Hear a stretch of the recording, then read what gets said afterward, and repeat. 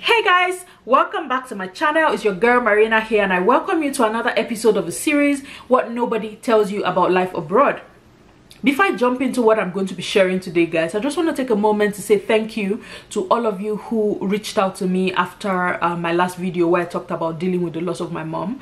Uh, guys i just want to thank you for all the kind words all the encouragement and all the prayers. Uh, for those of you who sent me private messages just sharing your own experiences i just want to say thank you. Um, I don't take it for granted at all. Like I said, the healing process is still um, ongoing and I just want you guys to know that I'm making progress and I'm doing a lot better today like you can tell. So thank you. Thank you so much guys. I appreciate all the love and all the concern. I'm going to be jumping straight into what we're going to be sharing today guys. So life abroad teaches you to do things the proper way. Guys, I say proper way for lack of a better language but it is so different i used to live in abuja nigeria and the predominant emotion in the air is tension. There's one kind of agitation that's everywhere. Like everybody's in a hurry. Nobody wants to yield to the other. Like people are angry. Like all that needs to trigger a fight is one small thing. Like but here it is so chill. People are so laid back. Nobody's in a hurry. I've never had issues being polite but this one the, the degree of politeness i've seen in this place my god that shocks me like you can be walking into a building with somebody and the person who's in front of you opens the door for the people behind to pass. Like i used to wonder like is it that you people don't have where you're going or what's happening? But it's like a normal thing. Everybody's looking out for everybody. You learn. You really now learn how to calm down. Anyhow want to do it like that it's not going to work here. You will learn how to calm down and really match follow the pace the way things happen here there are rules that people understand. There are laid down regulations that govern different things. And you don't need anybody to breathe down your neck to do the right thing. I've never seen a policeman on the road control traffic. Even when the lights malfunction i still do not see police people on the road trying to control traffic. There was a day that it had rained. It was like a storm. I was coming back from work and one of a light on like a major road that I go through was blinking funny. Like from a distance we could tell that it wasn't working. Everybody automatically just began to assume a four-way stop. Like you get there stop and move in the order in which you stop. So the person who stops before you moves before you. Wait your turn.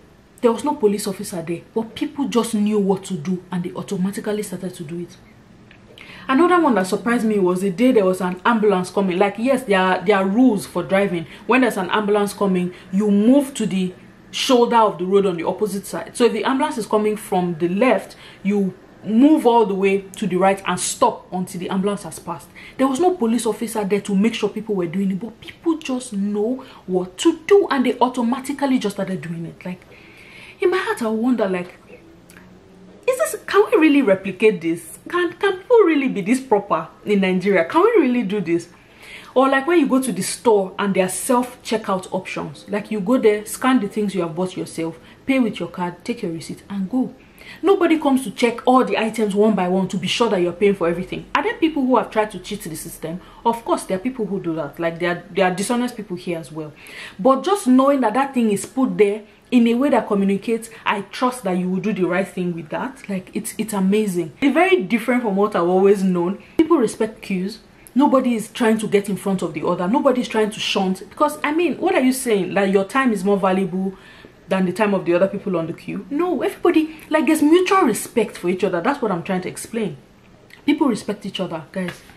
It's amazing. It's amazing how different how proper you now learn to become when i was in school i used the buses as an everyday and guys I did not ever see people struggle to jump into the bus from the window. There was no enter with your change, that kind of thing. And you cannot enter the bus until the people inside who are trying to come down to get off have gotten off. Like everybody waits. Guys, it's surprising. Like even me, it shocks me till now. Like how do people just learn to be so proper? It amazes me honestly. It does. Or they are sitting they are uh, part of the bus where you where if you sit on those seats and somebody who is on a wheelchair or, or somebody who is uh, pushing a child in a stroller comes on you automatically give up those seats. People they don't even have to say it twice. As soon as you see the stroller you get up and you and you move. If you have to go and stand at the back of the bus you have to. And people do it automatically traffic rules you will follow. If they say don't go beyond speed limit in this place you cannot go beyond speed limit there. Right? If they say school zone like school zone here is 30 kilometers uh, per hour you can't drive beyond 30 kilometers in a school zone from particular in during the school year. The school year is september to june. In the month of september to june between 8 and 5 it is 30 if you go beyond that the penalties are crazy. People just know what to do?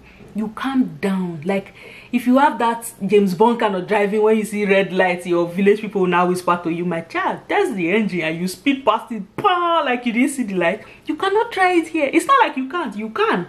But just know that you will have a ticket waiting for you in the mail. Guys so yeah living abroad just calms you down teaches you to be proper. You learn the right way to do things.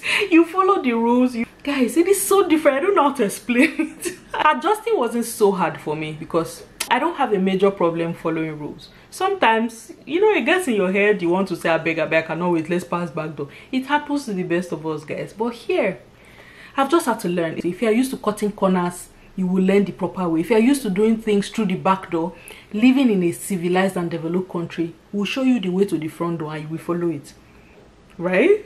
So yeah that's what i'm going to be sharing today guys. It's adjustments in a good way where you learn the proper way to do things. There's no other way to explain it guys. That's what really happens. So yeah that's what i'm going to be sharing today on this episode of what nobody tells you about life abroad. You calm down and learn how to do things the right way. Well thank you so much for watching this video today guys. Um, as usual share your experiences comment like give it a thumbs up if you enjoyed it. Uh, please subscribe to my channel if you have not already done so thank you so much for coming back guys. Until i see you on the next episode of what nobody tells you about life abroad it's marina signing out. Thank you. Have a great day. Bye bye